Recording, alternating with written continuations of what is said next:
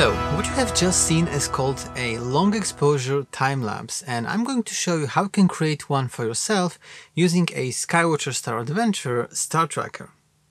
So in order to pull off such a long exposure time lapse you either need to have a advanced firmware downloaded into the Skywatcher Star Adventure, the first edition, the original one, the one that I have, or you need to have the upgraded one, the version 2i. That one you can control using the mobile app, but I'm going to focus more on the original one, the one with the advanced firmware. And in order to install the advanced firmware and get around it, I actually have a separate video already on my channel. If you haven't watched it, it will be linked down below in the description. So what you need to do, of course, you need to find an interesting location and while you are there, you need to set up your tripod, you need to remove the ball head from the tripod, mount the base of the Star Adventure to the tripod, then you need to make sure you actually level it and then mount the actual Star Adventure main unit onto the base. Then tilt it upwards 90 degrees, then you need to take the wide angle attachment, this little green thingy, and then pop it into the mounting platform.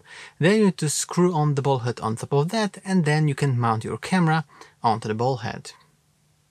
That way with this orientation of the Star Adventure you basically have a rotating panning head so you have this platform which is leveled with regards to the horizon and it will rotate either counterclockwise or clockwise depending on what you are after in your time lapse. Then of course you need to take your camera and you need to figure out your exposure settings so just take a couple of test shots and figure out what kind of exposure do you want. You need to go full manual of course you're going to be taking a series of shots in a time lapse so you need to have a consistent exposure exposure between those shots in order to create a smooth video. And how this long exposure time-lapse mode actually works and how is it different from a regular time-lapse mode because in the regular time-lapse mode the rotating head of the Star Adventure is just constantly rotating so your camera mounted on the Star Adventure will be just constantly moving either in this direction or in that direction and every couple of seconds you will be taking a shot with an intervalometer and that way you can just stick those images into the final time lapse. But with a long exposure time lapse where each shot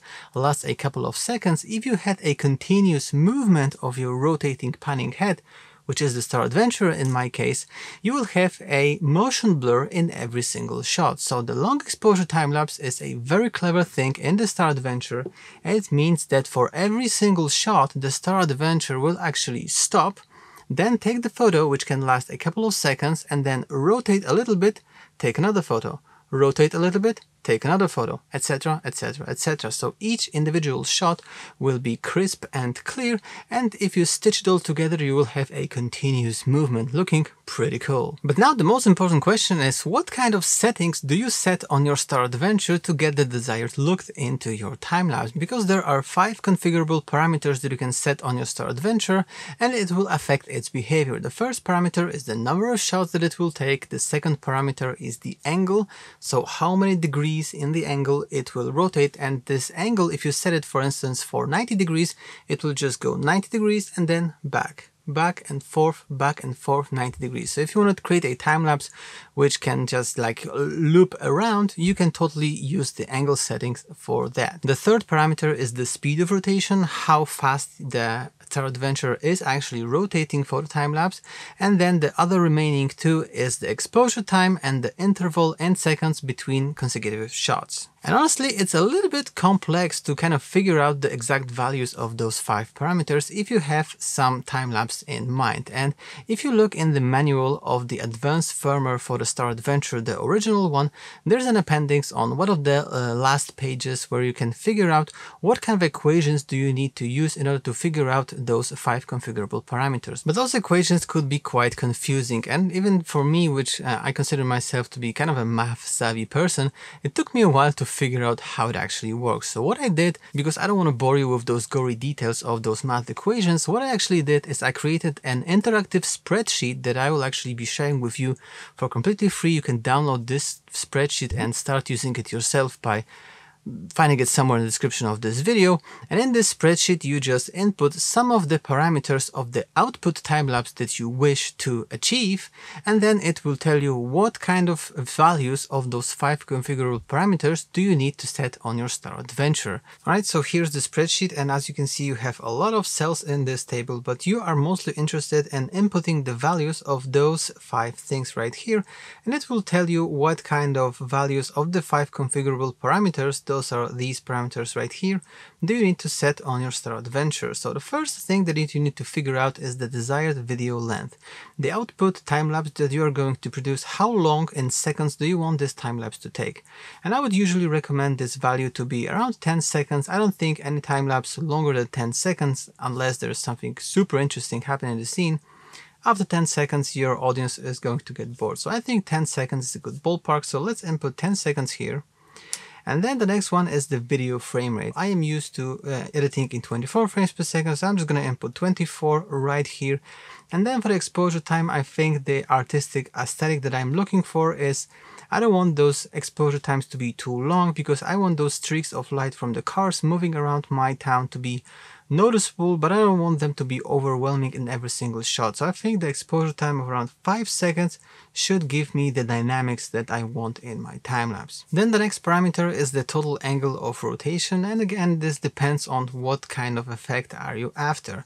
Maybe you want 180 degrees, maybe even 360 degrees. For what I did, I was using an ultra wide angle lens. So what I wanted to do is to go 90 degrees. So I would start it being sort of from the center of this road that you saw in the beginning of the video I just rotated my camera sort of 45 degrees in this direction and then I have inputted 90 degrees in my equation so it would go 45 to the middle and then 45 to the left side completing a sort of this kind of a cone. So let's input here 90 degrees and then there's a last parameter which is called panning time between shots and this is pretty much the time that the Star Adventure will be spent panning, so doing the rotation between the shots. And this value has to be set in seconds. The minimum value is one second according to the manual. And if you want to have a very smooth time lapse, I would recommend to leave it at one second. But if you want to make a very like 360 degrees or something like this, maybe I would recommend to use something higher than one second in order to have a faster rotation. But I just left it at one. And now what we see here are the five configurable parameters that you can set on your Star Adventure. The number of shots that you need to take is 240. The speed should be set to 16. The speed is defined in minutes and this is defined in how many minutes does it take to complete a full rotation. I also talked about this in detail in the other video about the advanced software sorry, advanced firmware for the Star Adventure. So if you haven't checked it out yet, I highly recommend it again, link in the description. And then we have the angle, which is of course 90 degrees. This is the same thing that we have input right here. The exposure time is going to be 5 seconds the way I want it and the interval is going to be 7 seconds because 5 seconds is the exposure time, then 1 second is reserved for the stabilization time, this is again something that I read in the manual, and then 1 second of the actual panning, the thing that I have input in this cell. But we have a little bit of a problem because I cannot freely input the speed of rotation in my Star Adventure in one minute increments. The way you can set it, at least on the old Star Adventure, the one that I have right here with me, if you are the owner of the 2i and you have more granularity in the speed of rotation, please let me know down below in the comments. But with this one, the way you can set it is you can set it in tens of hours, hours, and tens of minutes. So the smallest increment that you can set is 10 minutes. So the fastest is 10 minutes per revolution, the second fastest is 20 minutes per revolution, etc, etc. So my value that I have calculated in the spreadsheet, which is 16 minutes, needs to be rounded either down or up. And I would always recommend to round it up, which means that it would take 20 minutes to complete a full rotation, which means that my final time lapse would be a little bit longer in order to complete the 90 degrees panning. Because if you have a slightly longer time lapse, you can always just speed it up in post-production, but if you have a slightly shorter one, if you have floored it down to like uh, 10 minutes per revolution, so a faster speed. That way you would end up with a time lapse that is less than 10 seconds and if you want to stretch it to 10 seconds you would end up with jarring motion. So I always recommend to round this value up and that's why what you can see in this recommended column is this is rounded to 20 minutes. And then if you move upwards here you can see how it affected the, the output sort of settings. So the desired video length now with 20 as my speed, 20 minutes of per rotation is going to be 12.5 seconds. Again, not a big deal. I can speed it up in post-production. Of course, the frame rate is the same. The exposure time is the same. Angle of rotation is the same. And the panning is also the same. So the only thing that is affected right here is the video length of the output time-lapse. And also right here at the bottom, you can see the total calculated acquisition time. So the in the ideal conditions, it would take me 28 minutes to complete the entire time-lapse to shoot it. But with this rounded up uh, speed, which makes the speed a little bit slower, it will take 35 minutes to complete the time-lapse. And I took those values, I have inputted them into my Star Adventure, I have I, I went out to the field, I, I did the time lapse and it took pretty much exactly 35 minutes to complete the time lapse. And in order to begin shooting, you basically need to uh, point the camera at the starting position, then you need to set the direction of rotation and that thing you can set by uh, setting the hemisphere switcher right here. So the south hemisphere is going to rotate clockwise and the north hemisphere uh, position right here is going to uh, rotate counterclockwise but you need to sort of from the position of looking through the polar scope. So if you have it like this and you are looking at your scene from this direction if you set it to S the the south position it is going to rotate from right to left the way that I did for my time lapse. And if you set it to N it is going to rotate in the other direction. And then of course to begin shooting you need to connect the snap port right here in the Star Adventurer with your camera using an appropriate cable and then set the camera to bulb mode and the Star Adventurer will take care of everything else. It will just start rotating and taking shots and you just need to wait a bit until it is finished. One thing that you actually need to be aware of is that the exposure time that I ended up with was not exactly 5 seconds. It was a little less than 5 seconds and more specifically in my situation it was 3.8 seconds per exposure. I don't know if this is caused by the camera and having some sort of delay in the remote shutter release cable or maybe it's caused by the Star Adventure for some reason.